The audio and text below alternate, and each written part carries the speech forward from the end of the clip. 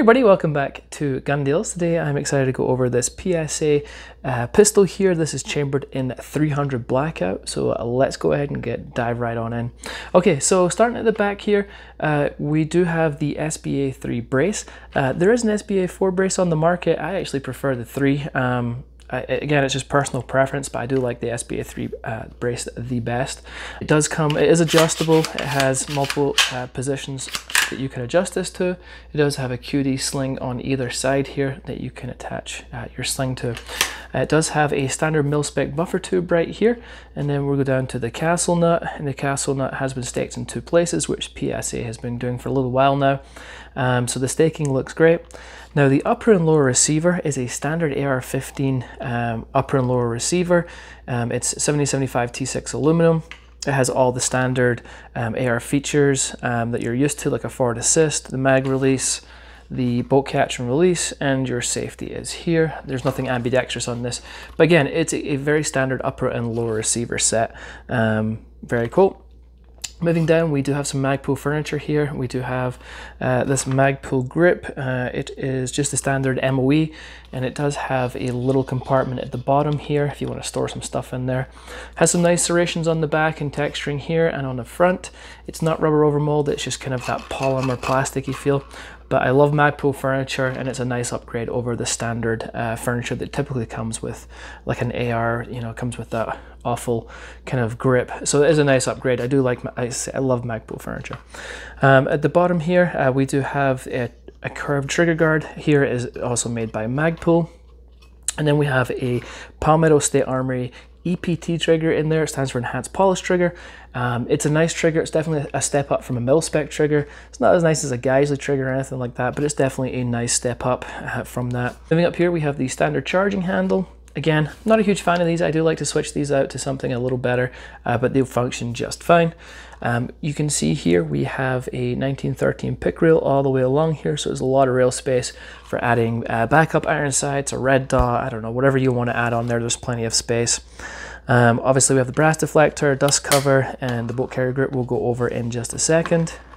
Comes with 130 round mag. This did come with a Gen 2 PMag for um, a standard AR M4. So with a 300 blackout, uh, you can use these magazines um, that are typically used for uh, 556. Um, you, as I say, but there is specific PMags designed for the 300 blackout. Um, you can use these. Uh, some people have said they're fine. Some people have had some issues with them. Whatever. I would probably just spend a little bit, a little bit of money and just buy some 300 blackout mags. Um, but again, it's totally up to you. These will work. Um, but yeah. All right. So we have a flared uh, magazine well right here obviously for inserting that magazine a little easier. Uh, moving up, we come up to a pretty short rail system here. Uh, this is seven inches. Um, it has some M-LOK slots. They, ca they call this a lightweight version, um, and that is because the rail is super aggressively cut out. Uh, we'll go over that in just a second. We have two QD sling mounts on either side here, stamped and made in the US of A right here.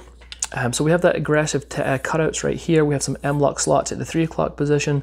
Again, we have some more cutouts we have some more M-LOK, cutouts, M-LOK. So 3, 6, 9 o'clock position for your M-LOK slots. Um, the gas system is a pistol length gas system, so it's a really short gas system in here with a low profile gas block. Uh, the barrel is 8.5 inches. It is a 1 in 7 twist. Um, and it's a 4150 CMV steel. We have the A2 flash flashlight at the front here and the thread is 5 8 by 24. And uh, yeah, so the barrel profile, as I said, is heavy. It's a heavy uh, profile barrel. Um, and as I said, it's the 4150 CMV steel. Uh, what we're gonna do is I'm gonna change the camera angle. I'll put this down on the table and we'll go over the trigger and the internals and I'll be right back with you. All right, before we go into the trigger and the internals, I just wanna give you a quick side-by-side -side of these rounds just to give you an idea if you're not used to 300 blackout.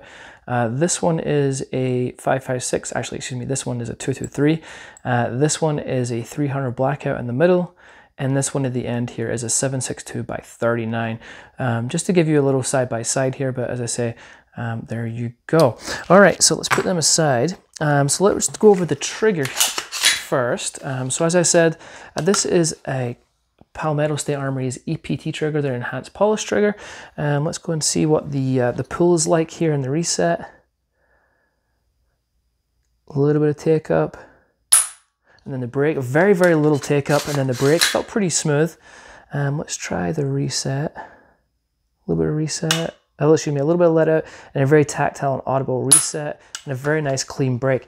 It's a definitely a decent trigger, as I said. It's a nice um, kind of um, step up from a mil spec trigger, but still nothing uh, crazy to write home about. We don't need that, we need this. So this is the Wheeler trigger scale here. Uh, let's do the pull and see what we get. Okay. So 5.5 pounds, which is not too shabby. Let's try that one more time. Make sure we're going to get a consistent pull here. 5.5 pounds again. So consistent pull. So yeah, it's not a bad trigger at all. Um, so yeah, let's move on. So to take this down, it's just, again, as I said before, this is a, a, an upper and lower receiver for an AR-15. So you're essentially just going to push the takedown pin here at the, at the back and obviously the one at the front here. All right, so pull that front uh, takedown pin out. That one was a little stiff, but again, this, you know, it's a new firearm. It will loosen up over time. So inside we have your standard fire control group here. And then we have your buffer spring and your buffer system right here. Let's put that back in, put it to the side. So let's take this out. Again, this is your standard, uh, excuse me, this is your standard charging handle. There's nothing to write home about. And then we have your bolt carrier group. This is made by uh, Palmetto State Armory. It's the non-branded one though. I've been shooting, so it's a little dirty. Um, so yeah, let's have a look here. The, the staking on the gas key looks okay. On the left side, the staking could be better for sure. It's not perfect. It definitely could do could have done with a being a little better. Um, but the fit and finish overall looks really good. Obviously, this is this is a bolt carrier group, and this is your bolt right here. And it says C158. That's Carpenter Steel 158. And it's MPI tested. So overall, it's, it's pretty good. That staking needs to be better though. Um, but overall, um, again, I've not had any problems with PSA's bolt carrier groups. Um, that staking does leave a little to be desired. Um, but yeah, okay, so that's your basic takedown. To reassemble, just go in reverse. I'll do that now and I'll change the camera angle one more time and I'll be right back with you. All right, so how was shooting this? Shooting was a lot of fun. Uh, it's a, as I say, 300 blackout is, is a great round.